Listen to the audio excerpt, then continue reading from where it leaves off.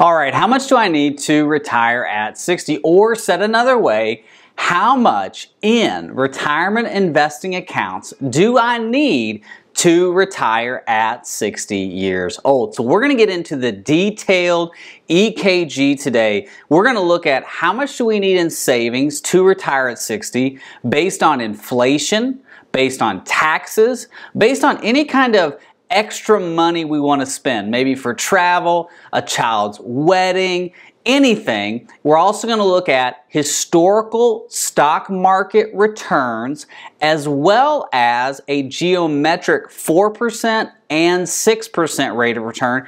And we're going to look at Social Security. So let's get right into it today. So we've got Drew Blackston, that's me, and we want to retire at 60 years old. We're trying to figure out how much in retirement assets we need to retire at 60. So we're retired. Now, as you can see, we've got to fill in some things. So we're going to go through this together detailed so you can see the process for finding out exactly how much you need saved for retirement so you can retire at any age. So if you're trying to retire at 55, retire at 50, retire at 62, this is the same process that we go through for all of our clients to determine have you saved enough for retirement. So the first thing we're going to look at is Social Security. So Drew's primary benefit, we're going to look at 67 years old and his uh, Social Security at full retirement age for this video is $2,800. Now, if he took it at 62, he would get 70% of his full retirement benefit. If he waited to 70, he would get 124% of his full retirement benefit. So we're going to look at 67 right there in the middle, getting 100% of his full retirement benefit. Now, from an asset standpoint, we don't have any assets yet because remember, we're trying to figure out the exact penny how much we need to retire. So we've got to have a couple factors filled in first before we can get that asset number. The first one is when are we going to take Social Security and how much that's going to be. The second factor we've got to look at is our rate of return. What kind of interest what kind of rate of return are we going to get on our stock market investments, on our retirement investing accounts? Well, let's assume a 6% rate of return. I've already got that plugged in. So we're going to assume a 6% rate of return on our investments. Now, from an expense standpoint, $50,000 is our annual expenses. So if we break that down monthly, it's $4,166 a month. Now, that's getting an average inflation rate of 3.24%. Now, what I love about the software is it calculates inflation on a monthly basis. So that $4,166 is going to get inflated for the next month. So you're going to have 12 months of inflation on those expenses. It's a 3.24% annual inflation broken down monthly.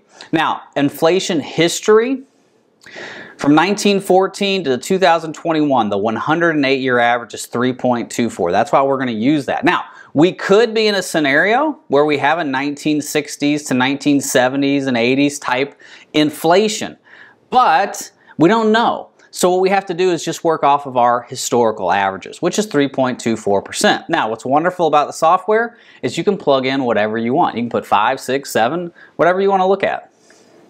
Now, from a cash flow standpoint, this is where we add in vacations, purchases of cars, maybe a second home purchase, any kind of big expenditures that you're going to have in your retirement. Those can be one-time expenditures, they can be a decade of travel, it could be monthly expenditures, maybe added health insurance or whatever.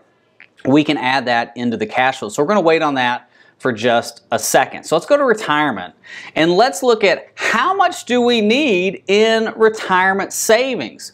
Well, the current value says that we need $922,799 to retire at 60. Now remember when we did it on the board, we came up with $756,000. I said that was the least amount that you needed to retire at 60. Now, that's on the board. That's not taking into account all the different factors that the software is doing, which is why it's so important for you. When you're doing retirement income planning, when you're doing can I retire planning, you need to factor in everything on the outside. Whether you do that with me and we do an EKG, or you're doing that with Fidelity software or Vanguard or your financial advisor, make sure that you're getting a detailed retirement income plan before you step into retirement. So let's remember that number, 900, we'll just round it up. Let's say 923,000. So let's go back to assets and let's add in $923,000. So let's add in, first of all, let's put some bank money on here. So let's say we've got money in the bank and let's make that our 23,000. And then let's add in an IRA so that's an IRA, and it's a traditional IRA, and let's, that's money's in the market. It's at risk, meaning it can go up and down, and that's going to be 900,000. So that gives us an, our $923,000 at 60. So let's go back to our rate of returns. Let's add in a 6% rate of return, not on the bank. Obviously, that's not going to be a 6%. 6% on our IRA. Our bank's going to be at zero. Now, obviously, interest rates can change, but let's just say it's zero for the money that's in the bank. So now we know we've got a portfolio weighted average of 5.85% because the money in the bank's not earning anything. The 900,000 is earning 6, so we've got a portfolio weighted average of 5.85. So let's go back to retirement to see how we did. Look at this. At 99 years old, we've got zero dollars. So we did pretty good. We actually need about $43,000 more. That's because we've got 23,000 sitting in the bank earning zero. If we were getting a straight 6% on the 923, we would have made it. So now we need to go back. I asked the client, hey, is 99 at zero? Do you feel good about that? A lot of times people say, yeah, I feel pretty good. But let's go back to add in some of the extra money we want to spend. So, hey, at 60, I want to travel for 10 years. So let's do some travel. I want to do this. I'm going to take an annual distribution. Let's do a $15,000 vacation and let's do this for 10 years. Now, obviously, this can change, so that's why we want to have a flexible plan. But let's do this for 10 years. And yeah, there needs to be inflation on it because Inflation's going to be everywhere on airplanes and on hotels and on food, so we need to do that. And we need to take this money out of our retirement savings, which is out of our IRA, and we need to do travel, have fun. So let's save and close that.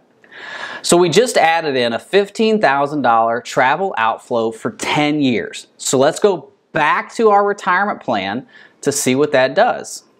Look at that. It cut off a decade of our retirement savings. Look at this.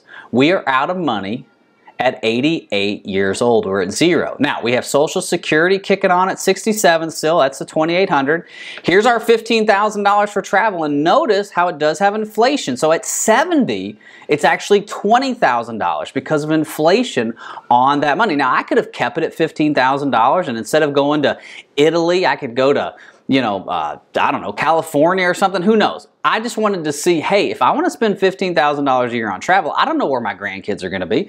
I want to go see them. If they're in Juneau, Alaska, or Bangor, Maine, or if they're in South Korea, I want to go see them. So I want to make sure I have this added into my retirement plan.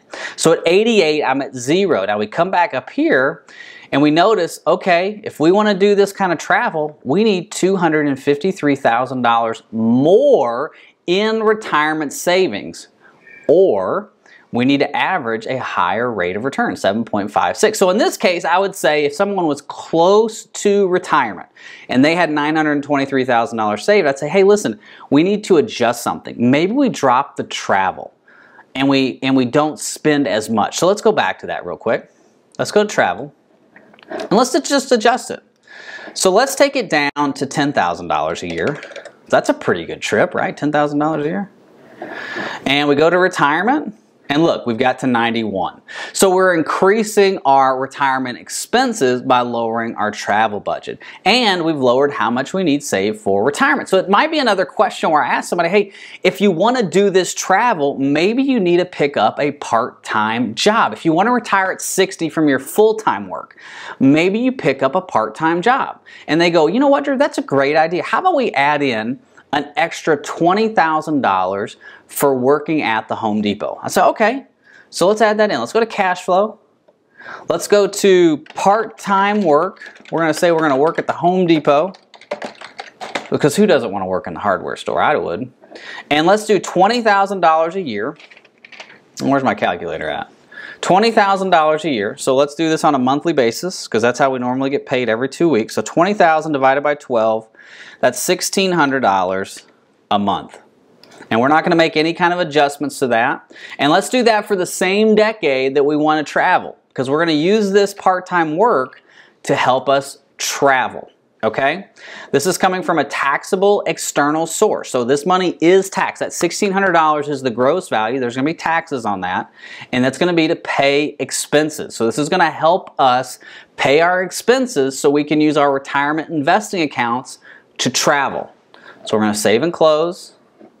We go back to retirement, and boom, at 100, we have $36,751. So there's a way that we've solved an issue that the client was looking for. So obviously this is different from your scenario. Obviously you have different cash flows, different things you want to do, different asset values. But we have to look at what makes the most sense to help you get to retirement through retirement and protect your ability to stay in retirement. Now, the last thing we want to look at are taxes. For this individual, their taxes, remember, they're in the state of Florida. I don't think I said that. So this person's in Florida, so there's no state tax. Now, for the year 2024, I want to go two years, all of our money's in IRA. So everything pulling out is ordinary income. So for them, their gross income is 67,400. There's the standard deduction of 12,950. Our taxable income is 54,450. 41,000 is the base. We're at 4808 over base. And then we've got some extra tax. So our federal tax is $7,596, which puts them in the 22% bracket. Now, the federal effective rate is 11.27. So he's in the bracket of the 22%, but after the standard deduction, and really, depending on other expenses and things like that, he's in the 11.27 effective tax rate, which is really good. Now, what we might look at for this individual as they get closer to 60 is doing some Roth conversions, things like that to help them lower the taxes even more, okay?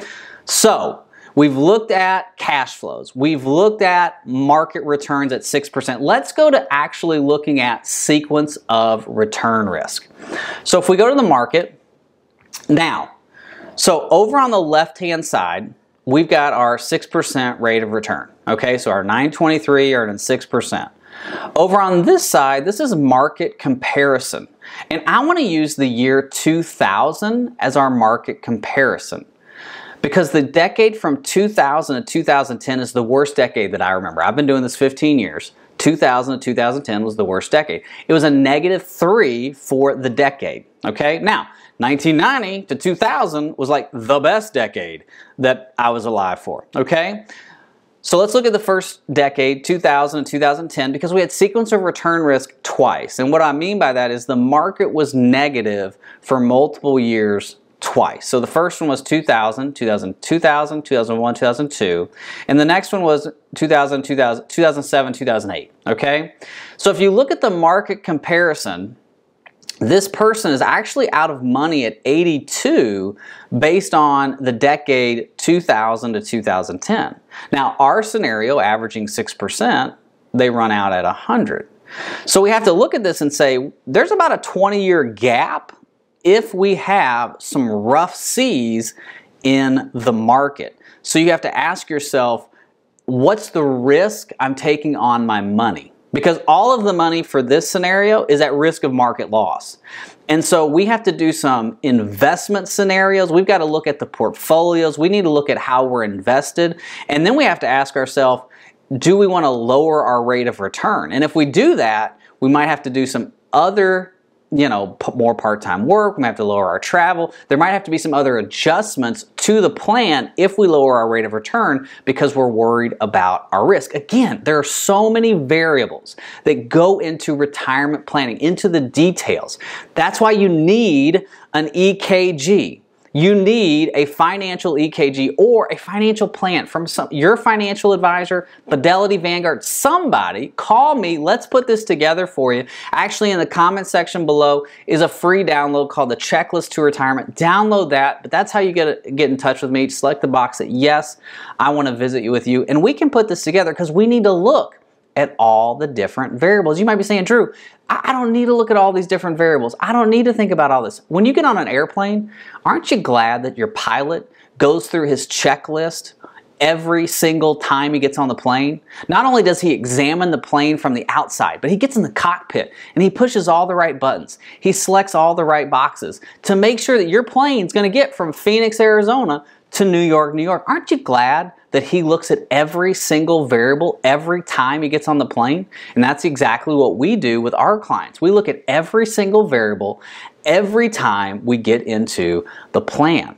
So we've looked at the market, We've looked at taxes, we've looked at cash flow, we've looked at assets. Let's go back to income one more time because I want to show you really two more things. The first thing is I want to lower Social Security.